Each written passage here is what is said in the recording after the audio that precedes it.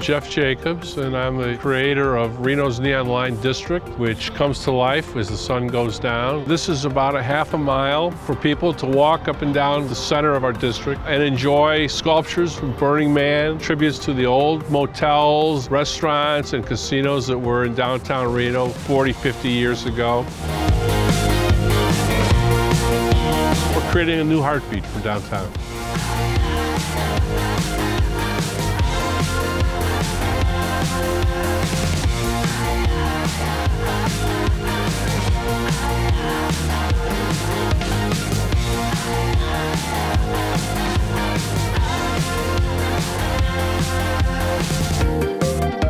Hi, I'm Erica Wisnowski. I'm the volunteer coordinator for Fly Ranch. Fly Ranch is 3,800 acres. This land was all indigenous. Much of the land around us still is. So what makes Fly Geyser unique is that it's different every time you see it. The geyser maintains a pretty steady temperature between about 175 and 220 degrees. It's a calcium carbonate formation and when you look closely at the geyser you see the different colors in the thermophiles. It's some of the uh, oldest life on the planet planet.